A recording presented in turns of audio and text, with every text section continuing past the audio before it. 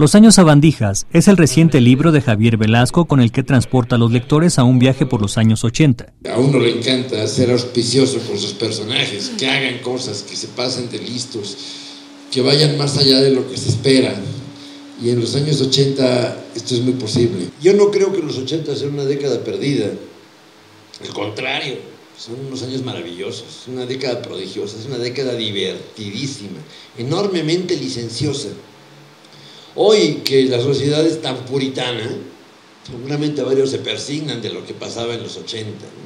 Y hasta habrá algunos que me digan que por qué no dulcifiqué un poquito las cosas ásperas que pasan ahí, porque ahora ya queremos reinterpretar el pasado eh, con corrección política y queremos aplicarle corrección política hasta los griegos.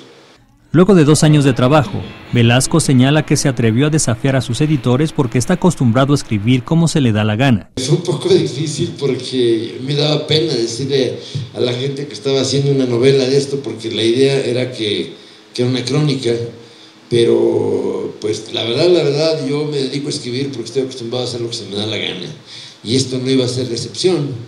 Así que decidí que se me daba la gana hacer una novela que pues no tenía por qué ser una mala noticia para mis editores. Con información de Manuel Bello e imágenes de Oscar González, Notimex.